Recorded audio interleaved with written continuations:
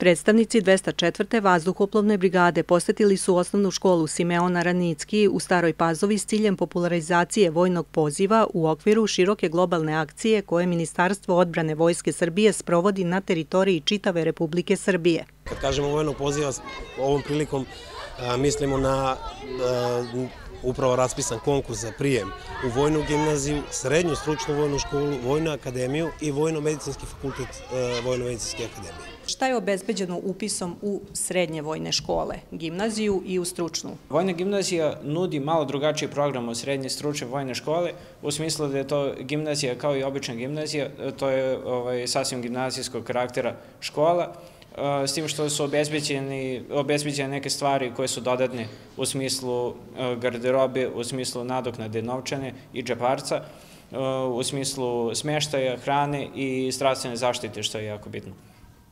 A upisom u srednju stručnu vojnu školu deca prolaze takođe kroz četvorogodišnji program, osim što u vojnoj gimnaziji su non stop u civilu, a u srednjoj stručnoj vojnoj školi u četvrtoj godini oblaču uniformu i pripremaju se za zagarantovan posao posle srednje stručne vojne škole. A posle vojne gimnazije upisuju vojnu akademiju, odnosno polažu prijemni ispit.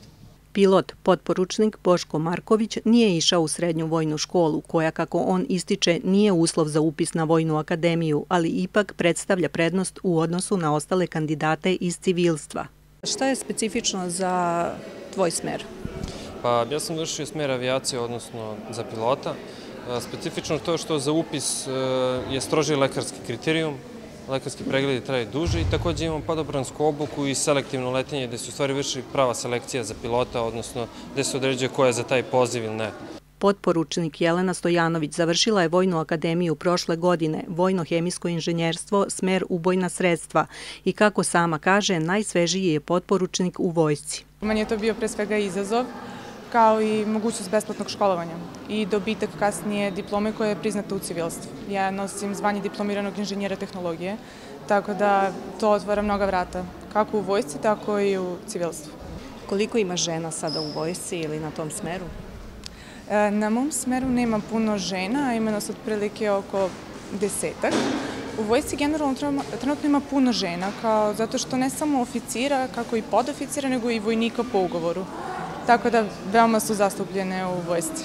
Sa Vojskom Srbije učenici ove škole imali su priliku da se upoznaju i ranije odlazeći na aerodrom, a danas su mogli da saznaju sve o vojnom školovanju. Učenici naše škole e, već niz godina za redom imaju dobru saradnju sa našom vojskom, odnosno naša škola, tako da i eto i sada imamo predstavljanje zanimanja.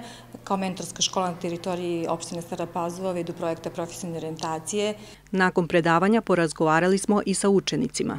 Još uvek nisam odlučila koju ću srednju e, školu upisati, ali sam zainteresovana jer još sam od malena išla na aeromiting u Batajnici i tamo mi se svidao taj posao vojnog pilota i svako da ću se prijaviti za upis u vojnu gimnaziju.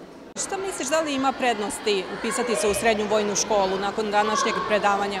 Pa prednosti ima, pogotovo e, smeštaj, E, posao je osiguran kad se završi sve.